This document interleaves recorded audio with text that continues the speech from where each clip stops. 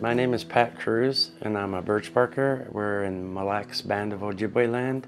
I make baskets and all kinds of different styles of birch bark stuff. Now I got cut out, I got shaped it. I wanted to do something different.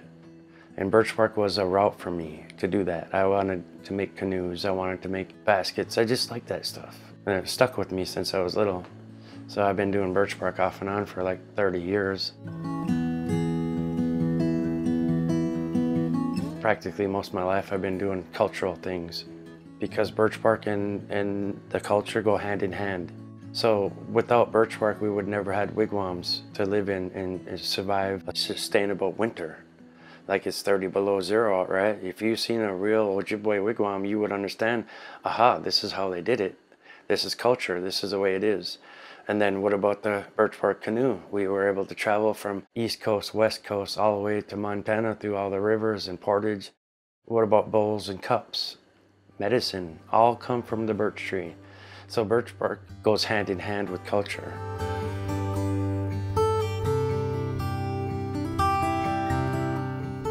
There's no perfection. There's no ever trying to be perfect with birch bark as your things as you see things crack, things break, things happen.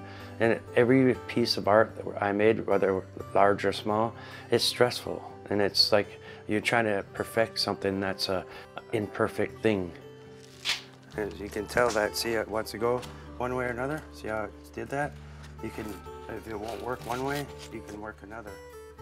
And it's important to make sure that you be mindful of any art, anything that you're trying to do Native American, there's never perfection. And you're just the same as any art or any tree or anything. We're imperfect. So we try to mimic a good thing, but at the same time, not trying to be perfect.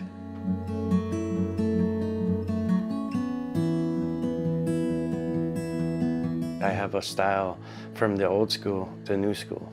So I, my inspirations are the original people, like uh, old school Ojibwe baskets, and their baskets are phenomenal. If you've seen them, you would understand.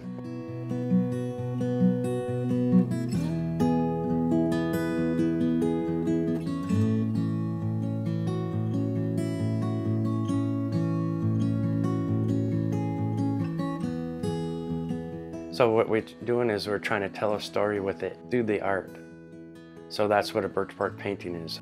It's like a, like I take a flat piece of birch, put it on wood, and then I put a design on there, whether it's floral or a turtle or a tree. It's a giant picturescapes of a whole forest with animals in it. But it's all different colors of birch bark.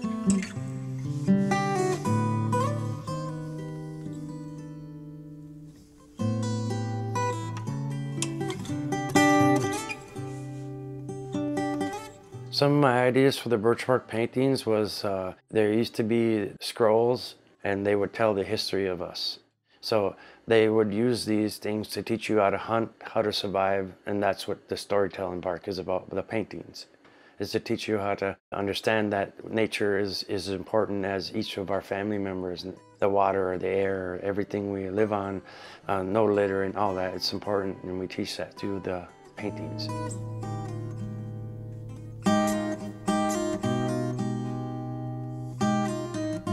My apprentice Terry Hum found his cradle at the Libertyville, Illinois Dunn Museum. And she got a hold of him and arranged for us to go meet the people. We went and looked at it, took pictures, and took a little measurements and stuff. And then we came home and I spent three months trying to design it and make the same similar thing. But the cradle is so important because they were making these things in 1800s. And that's the last time anybody made one. We were lucky to be the two people to actually remake something so special as this cradle because now we made the same thing in this generation instead of it being lost 200 years ago, 190 years ago. I, would take a, uh, novel words to make people who are not Native American understand how important that is culturally to us to remake such a thing and to have someone alive on the planet doing these things or to teach it. It's hard to teach, it takes months, years. It's not something you learn overnight.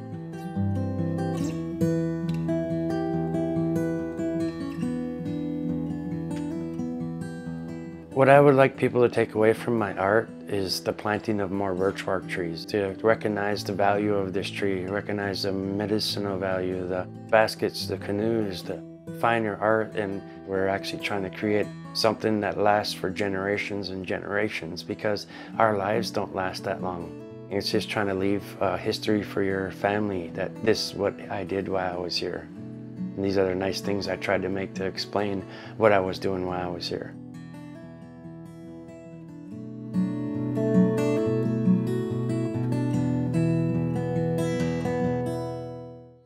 Funded by the Minnesota Arts and Cultural Heritage Fund with money from the vote of the people of Minnesota on November 4, 2008.